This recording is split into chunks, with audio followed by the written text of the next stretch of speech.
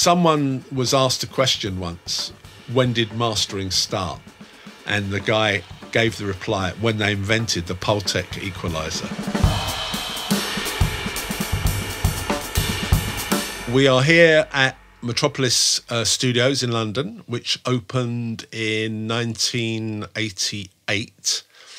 Um, we're in the mastering department, which opened in 1993. The mastering department was started by three mastering engineers. Myself, Tim Young, I was working for Sony at the time, which had gone from CBS Record Studios in London to Sony Music.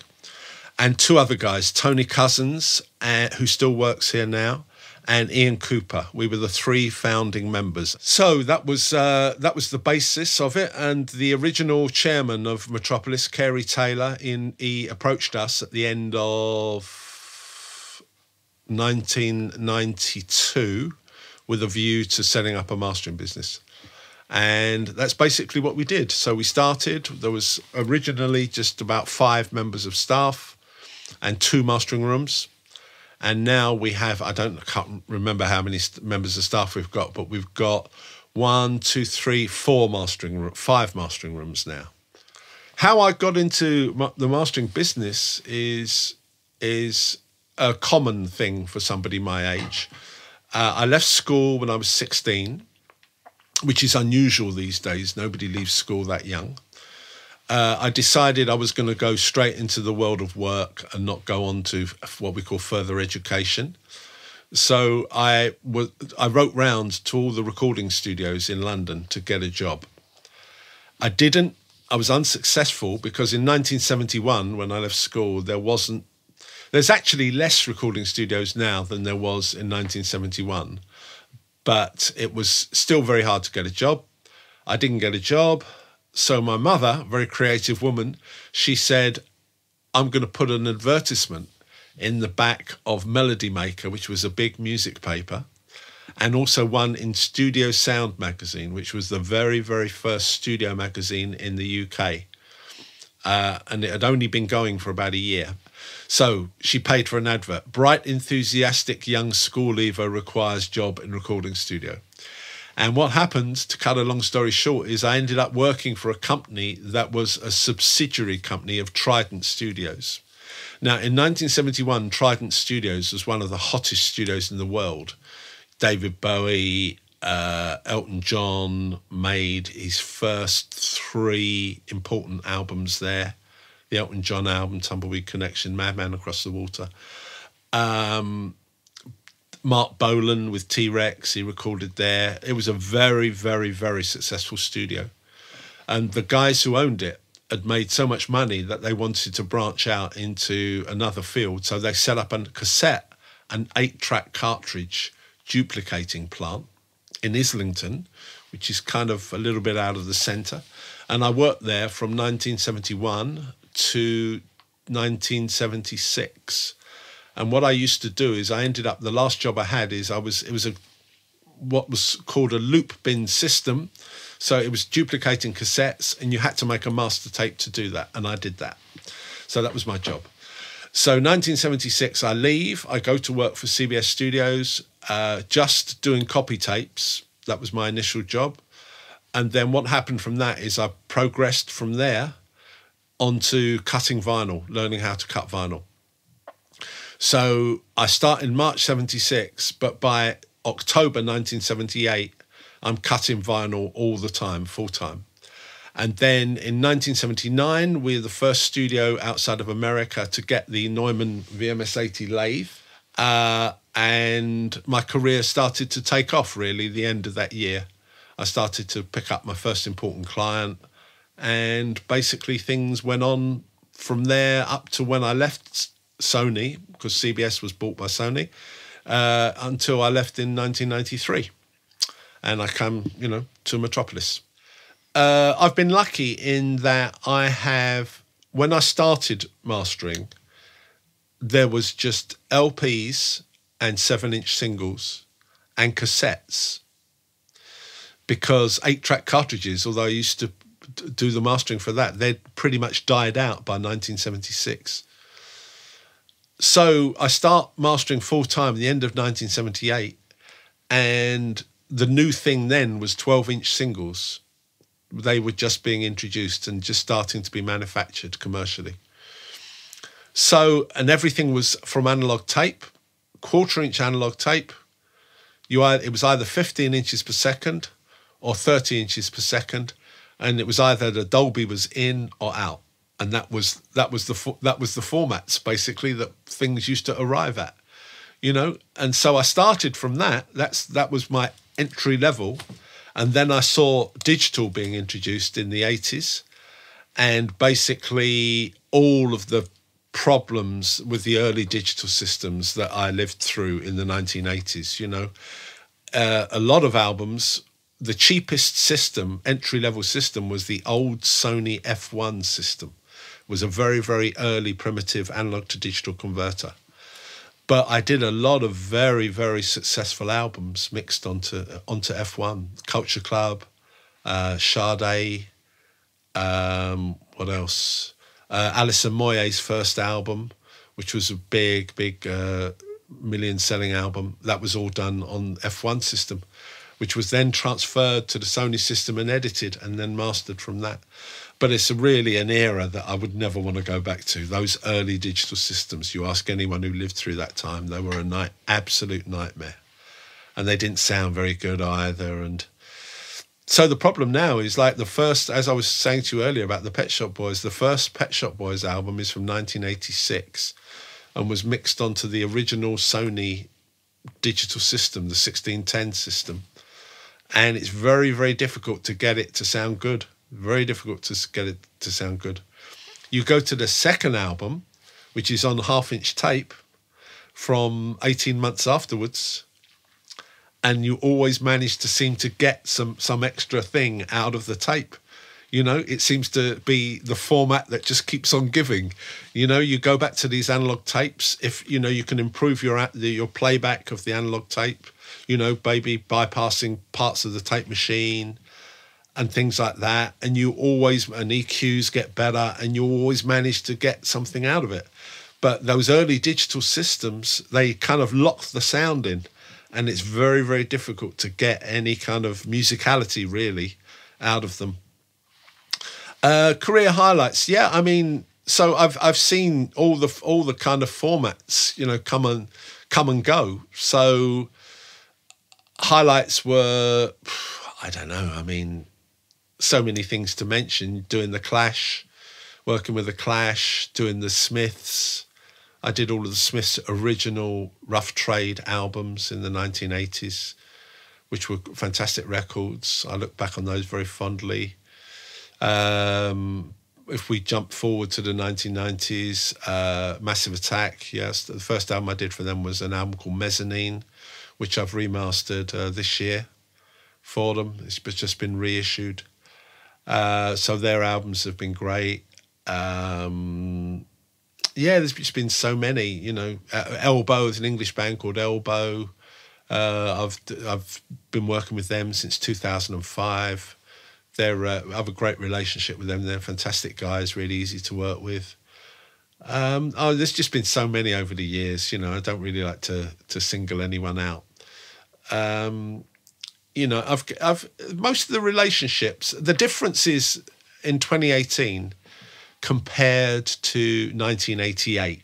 So if we look back just in those 30 years, a lot of your clients were producers in 1988. There was you could make a, have a very good living as a record producer. It wasn't just it would literally be anywhere, you know, anywhere in the world. You could you were getting a royalty on a record. You were doing like maybe three albums a year, getting an advance for every album. So you could you could it was a good job to be a successful record producer 30 years ago. Nowadays, impossible to make money as a record producer. So you've got a, a, a basically a a music business where the role of the producer has been greatly diminished. And I think you can hear that in records a lot, where you haven't got one overall objective voice making sure that everything is kind of up to standard and getting great performances out of artists. because artists they don't. If if you were doing vocals yourself on your own, there's a world of difference between you doing that and new singing with someone who's had many many years decades of experience of getting vocal performances out of out of people. And that kind of as i'm not making a sweeping generalization here but it's it's much much less prevalent than it used to be. And i think music has suffered as a result of it.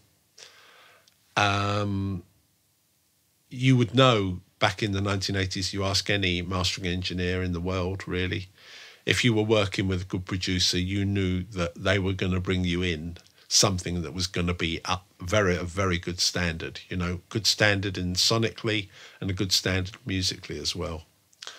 And unfortunately, that's not the case now. So I hate to end on a bit of a negative note, but it's the way it is. You know, it's it's pretty much at a crossroads now. I think the production of recorded music because it's so cheap to record now. You can virtually re- record for almost nothing. You know, it's crazy how how low some budgets can be. And of course, the, the the expense of mastering now becomes a big expense in the cost of making the record. But to me, it's always worth it because it's like it's you have to. It's always good to have an objective ear of somebody you you respect at somewhere along the line. You know because really that's what I, the most important thing that i'm giving to clients. Obviously i'm giving them access to great mastering equipment and great monitoring but without you know as we say blowing my own trumpet the great the best thing that you can get from your mastering engineer is uh, is his or her objective take on your your your album on your tracks. You know things like even down to things like you know your running orders wrong. You've made your album a, much more boring than it need be. You know you haven't got your 12 songs. You know you've got it everything's kind of like in the organized in the wrong sequence things like that. You know even down to you've brought been brought an album and why don't you take this song off your album because this song isn't as good as the standard of the rest of your album.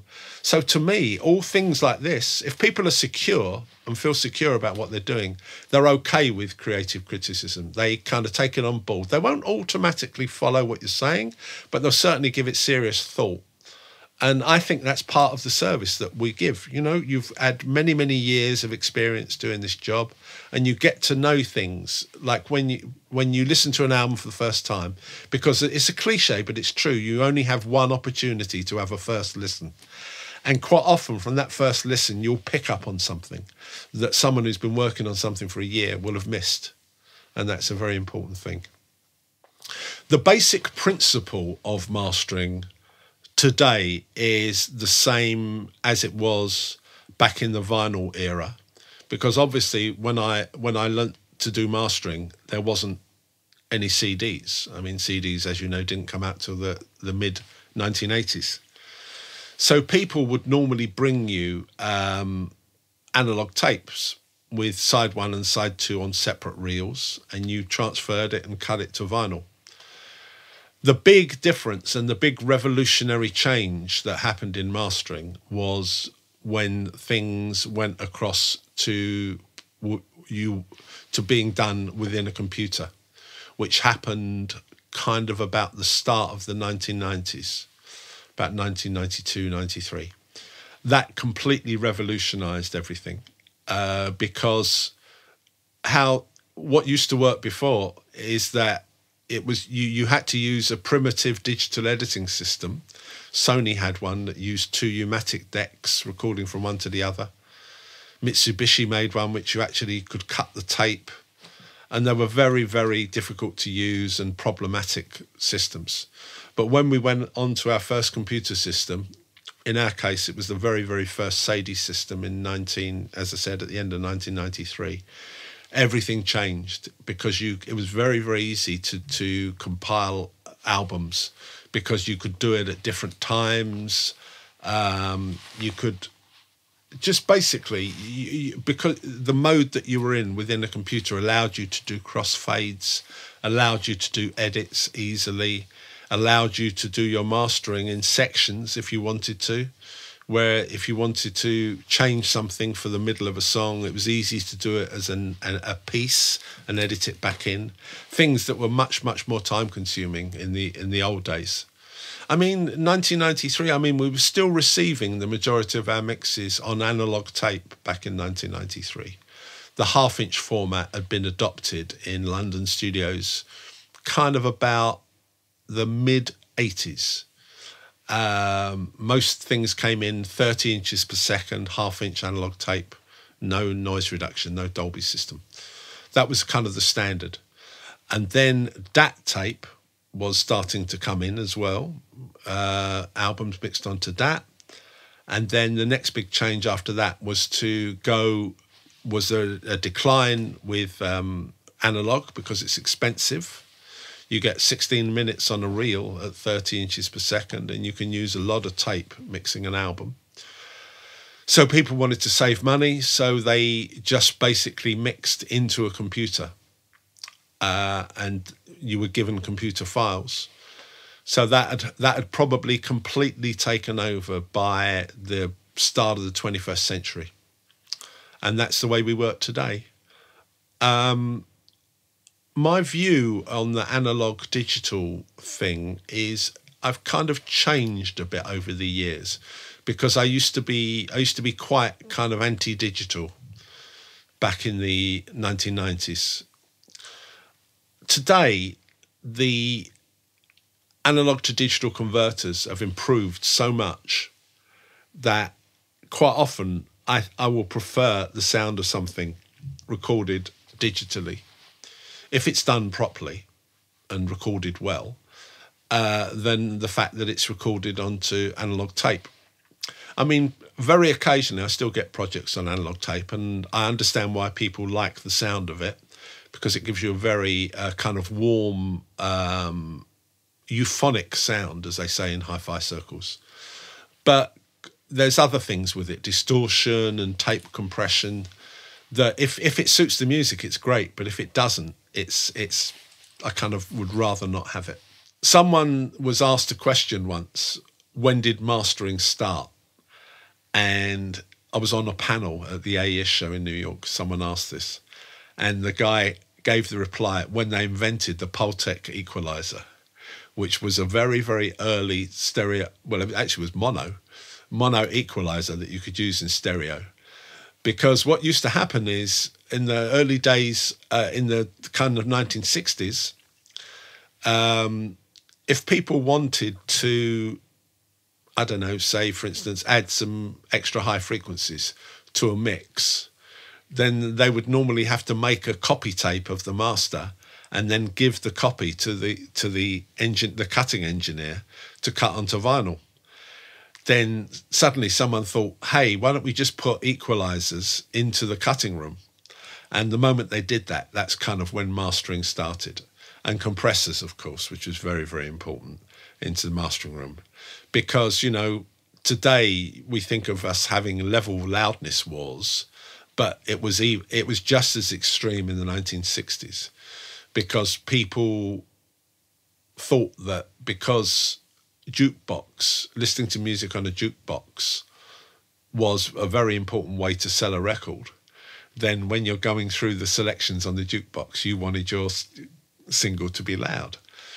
And that was very, very true. And so you can, you know, if you get some, uh, if you get good pressings of early 60s singles, sometimes they can be un- unbelievably loud, really, really loud. And it was, uh, that was it. You know, you went to the guy in town who'd cut the loudest singles in the 1960s if you were a producer.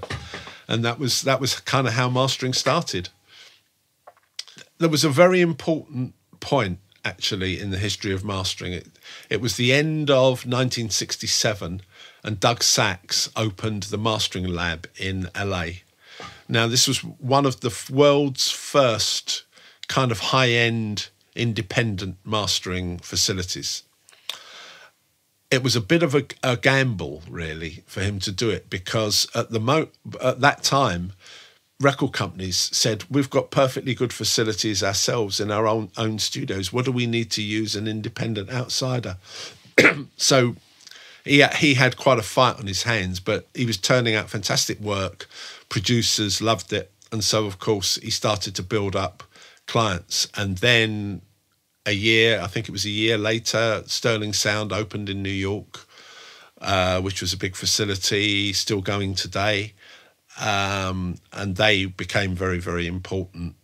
Uh, in London, um, Trident Studios had its own cutting room, which started at the end of the 60s. Apple Studios, which was owned by the Beatles, they had their own cutting room.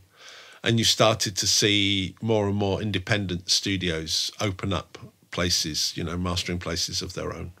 A lot of people, primarily, you'll find today if you walk into a, a control room where someone's uh, mixing a, a, pop record, that in in a studio like Metropolis or like Air or like Abbey Road, you'll probably find that they're spending most of the day listening on small speakers to set their actual balances, like how loud the voice is, how loud the drums are, everything, will actually be done on small speakers. And then they'll probably check on the big ones to check for like the super sub bass end and things like that at the end of the day.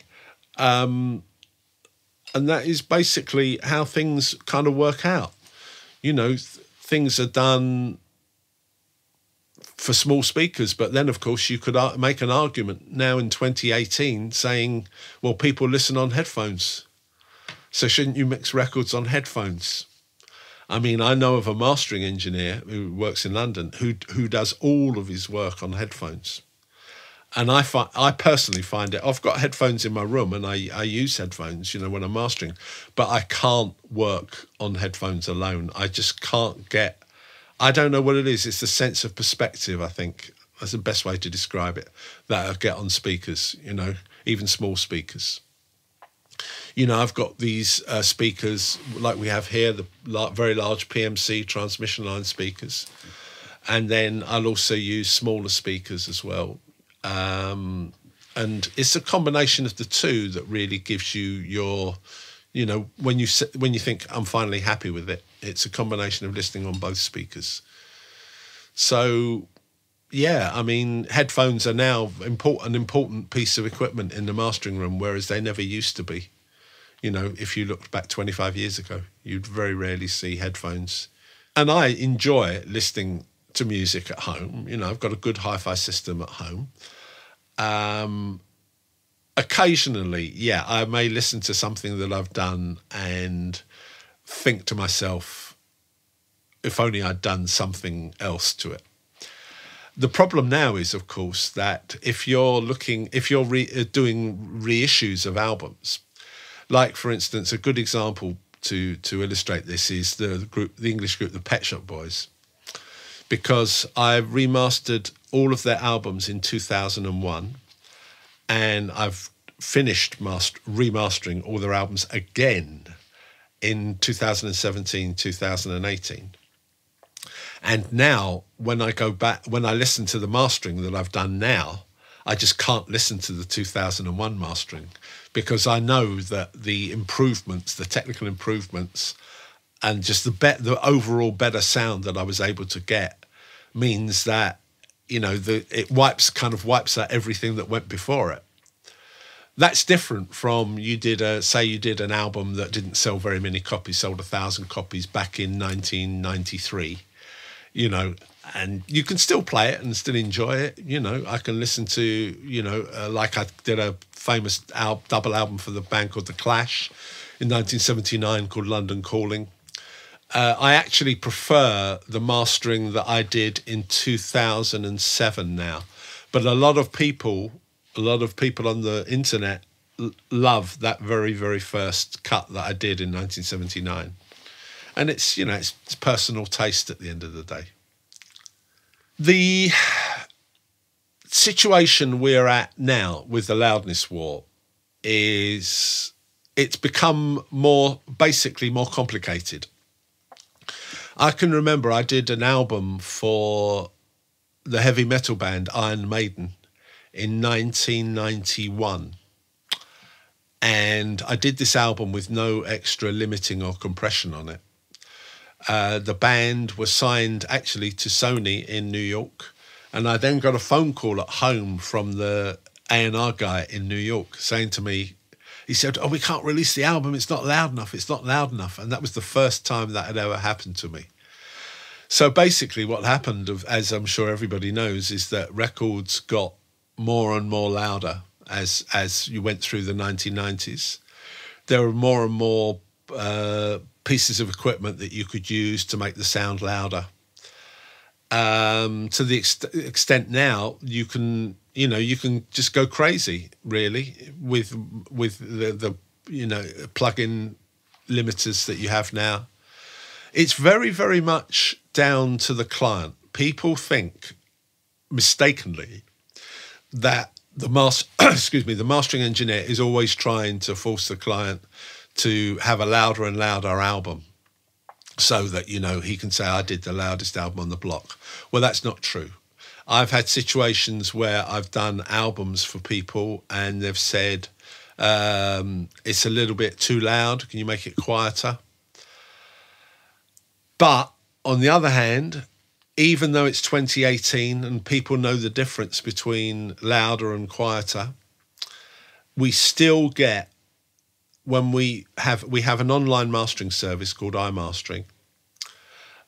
The revision that we get asked to do more than any other when people are sending in tracks to be mastered is to can you make it louder?